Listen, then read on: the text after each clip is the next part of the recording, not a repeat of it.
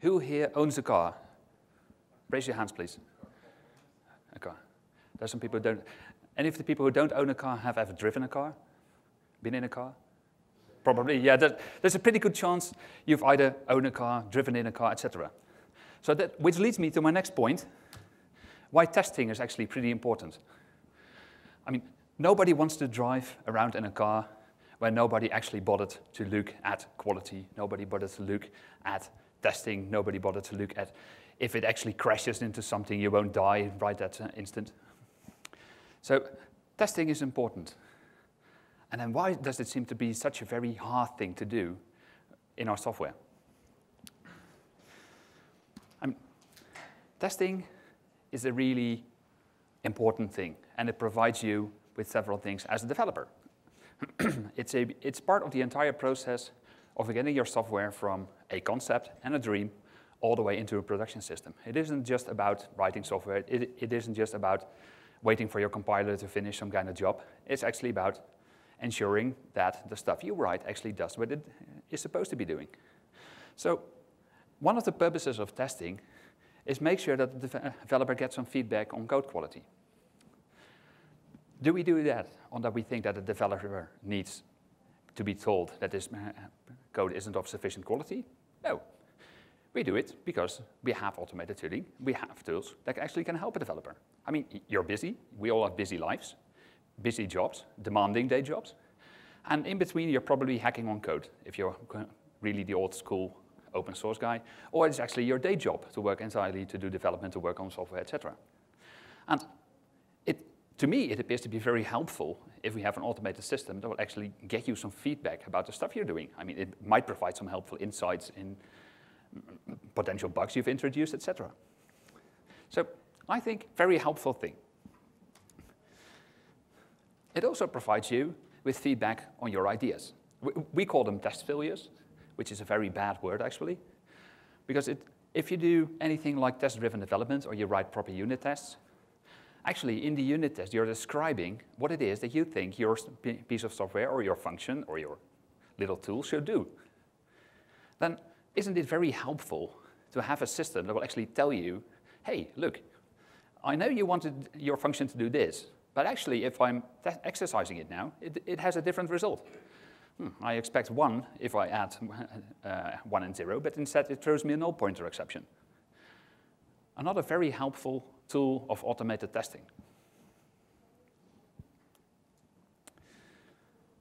Now you've written your function, you've written your unit test, and they all go green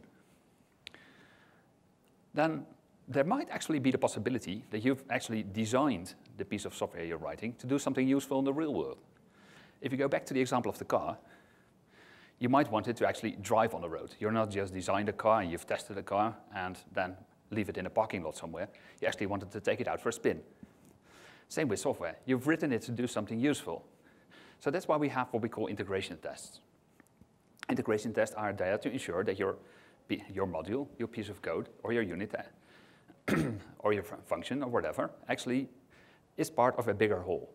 Hmm, it's, it's part of an entire program, it's part of an orchestration platform, it's part of a car, and you actually ex expect it to do something useful in the real world. You want it to interact, you want it to, inter to be interoperable with the other parts of your application, the other parts of somebody else's application.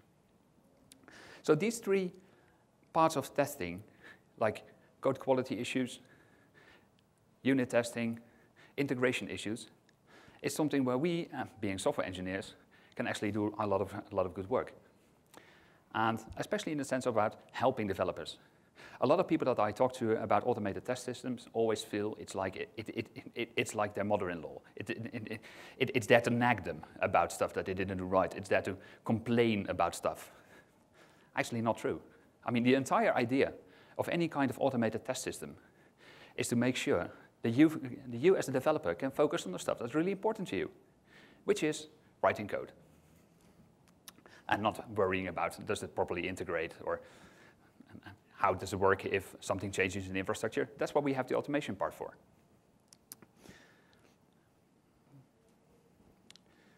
So the essential point here is that the point of testing is to get the right information at the right time, at the right guy. And that's, what then, that's basically the entire purpose of what we call automated testing in, in CloudStack. We need to be able, as the people who work on the testing environment, to make sure that any developer gets the feedback he needs. And the reason I've chosen a picture of a couple of pipes here is that one of those important pieces there is making sure that we pro put proper test pipelines. I mean, I've listed a number of types of tests that we can do, like the uh, code quality test, the functional test, integration tests, etc. They need to be carefully pipelined. So part of the, of, the, of the goal of any test system that we use is make sure that we provide inf uh, information fast, we provide it at the right place, and we make sure that the right developer gets that information. And this is the guy we hired to take, to take care of it. We have a butler. Yes, CloudStack is such a high-ranking project, we have our own butler. And actually, hopefully, most of you actually have some kind of system you're working with or some kind of CI integration uh, tooling. And I think 90% of them will probably be based on Jenkins. So Jenkins performs for us a couple of very important functions. First of all, it's a scheduler. Actually, the original design of Jenkins was to be like a replacement for cron and do some automated scheduling. But Jenkins has a really interesting view on scheduling. It's not just like perform this task at 12 o'clock in the morning, but actually it's a trigger-based system. So we can have a multitude of options saying, okay, trigger me when something changes in a code base, for example, in a Git code base or in the Subversion code base. Trigger me if something changes on the file system. Trigger me based on a clock, the old school types. So at really one of the steps in automated testing is actually making sure that you test it at the right moment. Well, Jenkins is going to help us with testing at the right moment by allowing us a series of methods by, with which we can actually start the build or start any kind of process at the time we select. Part of making sure we do it at the right time. it's also very pluggable. One of the most important features of Jenkins is actually not Jenkins itself. It's actually their modular structure and the way they've structured their community. I mean, I can talk for hours about how Jenkins is doing a very good job with attracting developers and making sure they are continuously able to extend their product. But for us, the main point here is that Jenkins is a pluggable system. Pluggable means that there's literally hundreds of plugins out there that you can use to get all kinds of different features or different methods of starting builds, stopping builds, working with builds, etc. But that introduces a, a problem for a lot of us because it's so pluggable. There's so much modules out there that nobody can actually rightfully tell what Jenkins is able to do and what Jenkins isn't able to do. Which leads uh, us to a very difficult question if we're working as, say, test engineers with a developer community, because there's so much we can do for them that it's very hard to get the right questions. I mean, if it's possible for us to trigger a build based on the fact if there's a red car in the, in the vicinity of the building, that means it's going to be very hard for somebody to actually know, okay, yeah, I need to ask this of the test crowd about, yeah, I want to do this. So this requires a very good dialogue with all the people that are uh, in the development community and with the testing guys. On one hand, we as testing guys need to be able to explain to everybody, this is what we can do, and on the other side, the developers working with an automated test system need to come in and say, hey, wouldn't it be great if? And in the end, we're all developers, so it's even quite possible that we find out that there's a certain thing we need that isn't there yet, and we just add another plugin to Jenkins. And another part that's very in interesting about Jenkins is the fact that it's distributed. It's not like a monolithic application that runs on a single server, and we have to plug everything into that same server. It's actually a distributed system. It uses slaves in the Jenkins term with a master server and a slave server. And every slave is its own build server and can trigger various actions, which makes it useful in, in heterogeneous environments because we can have, for example, Windows slaves, we can have Debian slaves, we can have whatever it is we need. But again, the that triggers the same kind of problem. How do we actually get all the requirements to us about what we need to set up for a, community or for uh, a set of developers?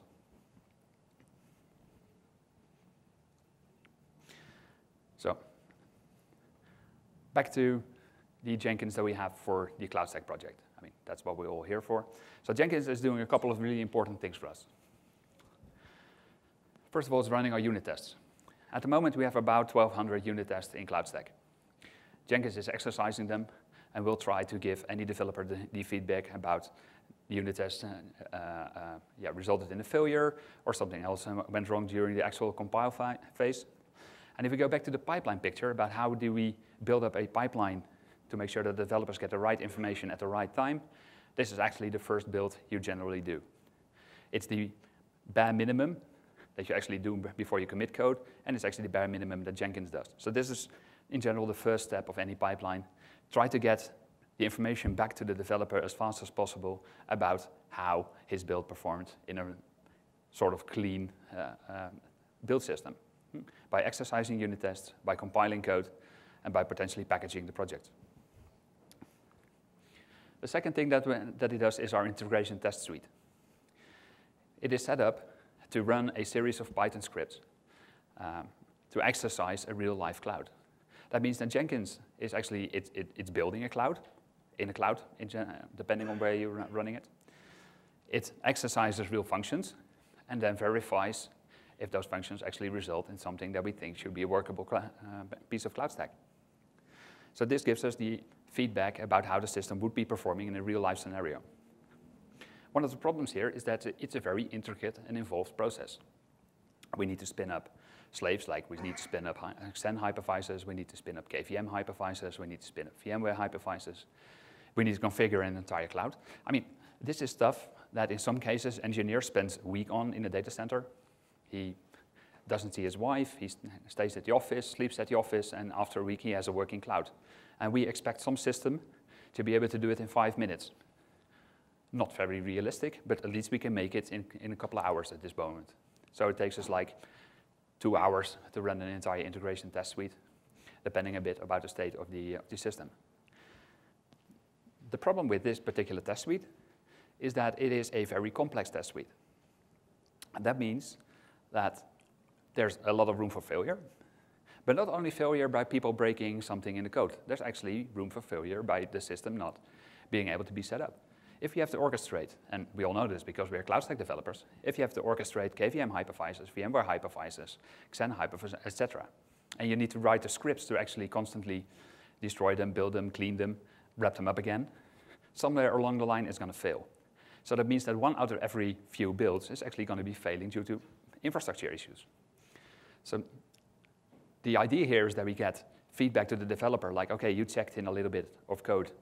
We exercise the entire integration test suite, and it fails. Developer expects his, it to be his failure, but actually it was our failure because we failed to make the hardware or the si system so yeah, easy to use and so foolproof that it actually did fail during the setup, which is a very irritating fact because any developer will be immediately irritated by the fact that he receives an email that something is broken in the build, and he will start looking, he will start spending time on figuring out where his code failed. But instead, we failed. That's a shame. It also provides a lot of reporting. and this reporting is not the type of reporting you would provide to your manager, but it's the type of reporting that you would actually find interesting as the developer yourself.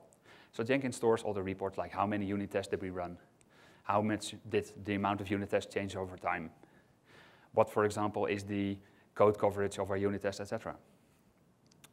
We don't use them as control tools to say, okay, this is, eh, we should have a minimum of like 80% code coverage, but they're actually really there to make sure that people have this information should they need to. It can be used, for example, to actually check, oh, this is the method I've written, this is the unit test that I've exercised it, and this is the actual code paths that were actually tested, uh, leaving nice gray areas where your unit test didn't quite cover the piece of code that you actually were writing at that time and it stores artifacts. Artifacts is not only for developers, it's actually for everybody.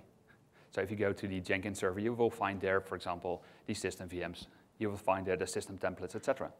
So it's also a store or a way to get the result of our build, which is actually a fully usable CloudStack installation, right back to the guys who might want to test it. So if you want to have the latest version of CloudStack, really like the bleeding edge developer version, or you want the latest bleeding edge version of the system templates, Jenkins is actually the place to go to. Giving it a lot of functions which are yeah, basically available to the community as a service, and there's a couple of us actually making sure that we can keep on providing this service. So where is this service? This is one of them. Now, I don't know how many people actually work with builds.apache.org. There are some issues there in terms of latency of builds. Um, it's a pretty overloaded system at the moment. There's really a lot happening. So in general, we have just a very small number of builds running there, but most of our builds are actually running here. Jenkins buildacloud.org. Kindly donated by a number of companies who work together to actually make this a fully functional build system, where we run over 90 jobs at the moment. Those 90 jobs are split over various uh, branches, various types of builds. For example, like I said in the previous pipeline example, the basic Maven build is running here, but we also run a slow build.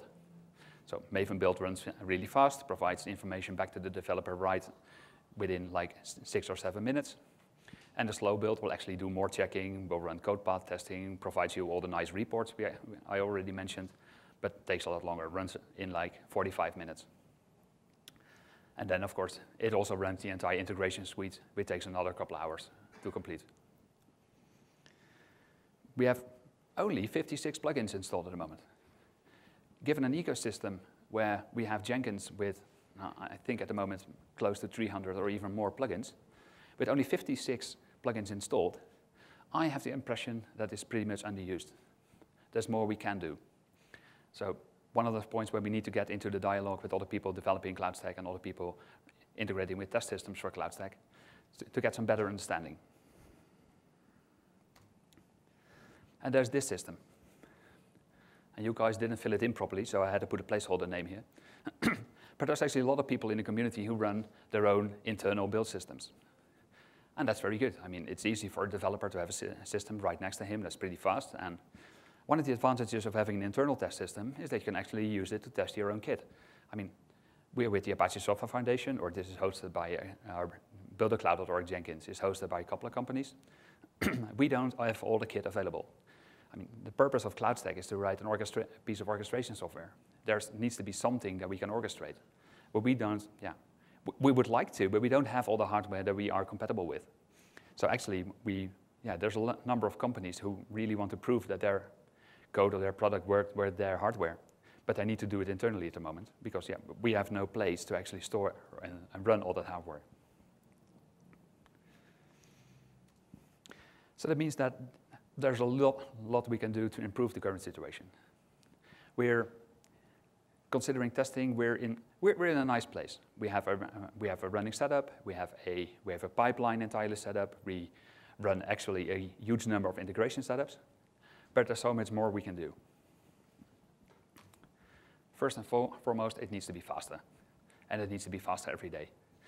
The, the real important thing here is if you're a developer and you're writing a piece of code, you fixed it, you ran your own tests, and you ship it off to the master branch or to any branch basically, and you're, yeah, you expect feedback from the test system. Or actually, you don't expect feedback from the test system because the test system won't complain if there's nothing wrong.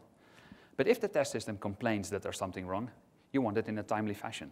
I mean, you don't want to commit your code today and then have to wait for another three or four hours to actually get some feedback about did it perform well, did it have any integration issues, etc. So one of the things that we're constantly, constantly trying to improve is to make sure that the build system is a little bit faster, so we can get that pipeline that we discussed earlier to the developers and with better quality. Another thing that we can improve is working together. I mean, I know we're all working together. That's why we're all here at Cloud CloudStack Collaboration Conference. But with this working together, I mean, we have multiple test systems out there. Some companies have their own kit. We have the Jenkins buildacloud.org. We have the Apache build system. We're actually wasting resources in setting up different Jenkins systems. Why not work together, get one big Jenkins system somewhere central where it can be managed, and then plug in all the companies? And in fact, it would deliver us a number of advantages. Say we run the entire BVT integration test suite. At the moment, we're limited to the basic kit. We can test most of the hypervisors, but for example, we don't have SolidFire storage in the data center. We don't have VMware NSX in the data center. We don't have MidoNet in the data center. So now, if they want to test it, they have Git at their own place. So one of the things we're trying to, to work on is see if we can provide a Jenkins system, since it is a distributed system, with ways to connect companies. So we would be able to set up an integrated BVT suite, and then have certain parts offloaded to, to other parties that can actually give us access to that particular hardware. So for example, we have our Jenkins. We put a slave in the data centers of one of the companies that, that actively develop on CloudStack and have that particular slave run a subset of the integration tests that are particular to that type of hardware that they are offering. And then Jenkins is actually perfectly capable to aggregate all the test results and give us as a community a single big overview and saying, okay, this is all the integration tests I've run, this is the end result. Again, getting the results to the developers back about how did this work. I mean, in a complex scenario where we are in with multiple storage vendors, multiple hypervisors, multiple networking technologies, there's a very real possibility that if you change something on the right side, something on the left side will break. And even though everybody is consciously and constantly testing their software, it, it still happens. And that's why we need a yeah, concentrated and uh, combined system. Another thing where we can do better is in integrating with the tooling. Now, basically, we don't start testing until one of the commits actually hits master or one of the release branches because of resource constraints, because of subject constraints. But basically, we just, yeah, somebody commits something to one of the active branches, Jenkins picks it up and starts building. There's not too many people that actually know that there's a, for example, a job in Jenkins that actually allows you to send a patch and have that patch tested against the current master version or against the current release version. And actually, it would even be better if we can have it set up in such a way that the moment you submit a review for inclusion in CloudStack, that the build system will actually be able to say, okay, you submitted a review, I'm going to grab that patch, exercise my test suite, and then give you back the result. Making it easier for the guy who submitted the patch to see, okay, this is actually going to be considered for inclusion. And for the guy doing the review on that patch, he has an immediate feedback like, okay, this actually builds, it passes unit tests, and it passes an integration test suite. And the same goes for inclusion with like tools like Jira and GitHub. Pull requests can be automatically tested. We don't do it yet. People submitting patches on Jira, we can automatically see those patches and test them. So there's more we can do in how we integrate. And it needs to be available globally. Of course, it's on the internet, but it's sometimes not very fast in places where we want it. It's in its distributed nature. Um, we should be doing just a little bit more to make sure that people get the right information at the right time. By maybe putting some proxies or caches uh, somewhere, making the system just a little bit faster, or maybe sending out more emails or to other places. So we need to be thinking a little bit about how do we want to get the information about what the state of the build is to the people. I mean, we can expect everybody to log in in Jenkins and check it there, but there's also possibilities of saying, hey, we put like banners on websites, on the, the wiki, like, okay, the current status of the, all the builds in all the branches is correct or incorrect. So there's more we can do there. So essentially, the thing we're now aiming to do with our Jenkins system is that we want to build an integrated system.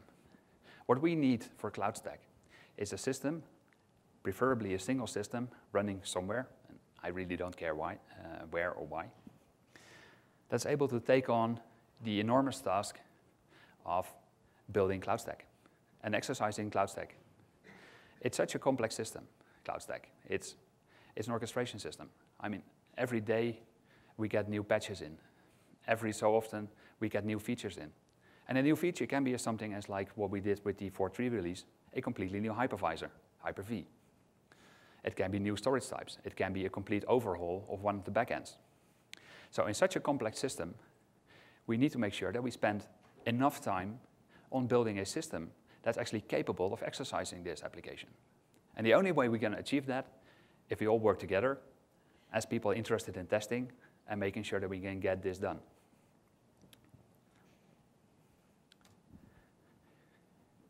And of course, there's a very important bit that I haven't talked about. We can build the best, the fastest, the fanciest, the shiniest test system anybody will ever want. I mean, we can build CloudStack, so something as simple as the test system, we should be able to do as well. But it's completely useless if we don't have tests. And is it the role of the test engineer to actually write the tests? No. It's the role of the individual developer. So that's where this, this is a, a, a call for action. if we want to make sure that we deliver the highest quality software, it's our commitment as the people working on the test systems to provide you with a system that will get you the information you need when you need it, at the right time, using all our fancy and shiny stuff. We can make plugins, we can make it easy for you, we can get hardware out there, we can do anything you want. But there's one factor where we really need developers for, and that's making sure that there's actually test, that there's something we can test, some procedure that we can exercise and give that information back for you. So this is both an offer. We can offer you a lot of input and a lot of help with setting up proper testing and setting up test procedures, but it's also a cry back, please give us something to test. And with that, I would like to conclude my presentation. Thank you.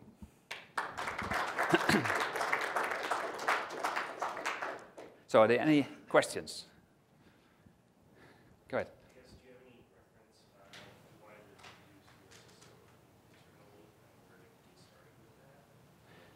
So the question is if you have any reference, if you want to get started with it, or if you want to do such a system internally. Um, that's a very good point. No, at the moment we, uh, we don't. The best reference is, of course, the, uh, the system itself. So uh, yeah, please visit uh, um, the jenkins.buildacloud.org.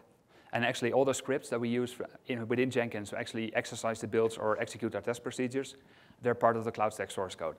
So there's the uh, test subdirectory, which contains all the smoke tests and all the integration tests. And there's the, uh, for example, the, all the packaging tests are using the packaging scripts inside CloudStack. And I, there's ample resources available on how to set up Jenkins itself.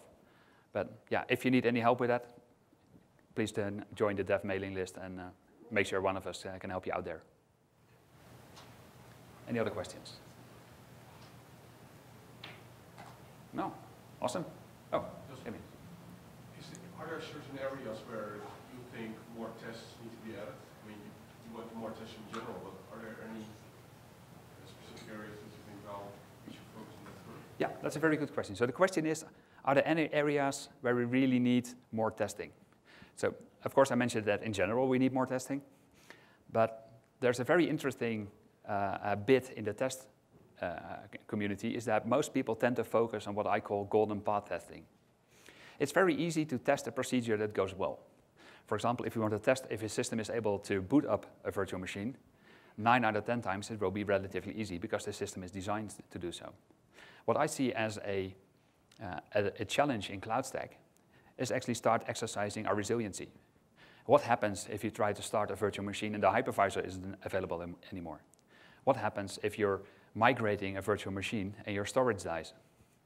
That's an area where there's a lot of you know, real world pain there. I mean, stuff doesn't always work, stuff breaks.